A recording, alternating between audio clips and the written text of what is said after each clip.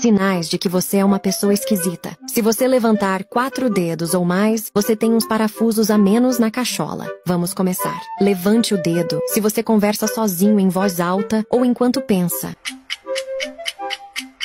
Levante o dedo se após uma discussão você fica imaginando coisas que poderia ter falado.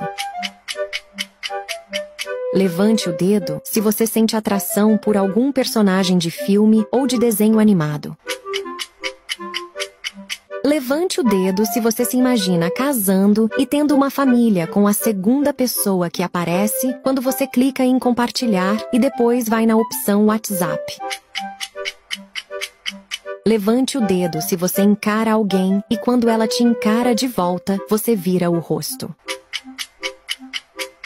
Levante o dedo se você fica cheirando seu cabelo toda hora. Levante o dedo se você se esconde ao ver um conhecido só para não ter que cumprimentá-lo. Agora me conta, quantos dedos você levantou?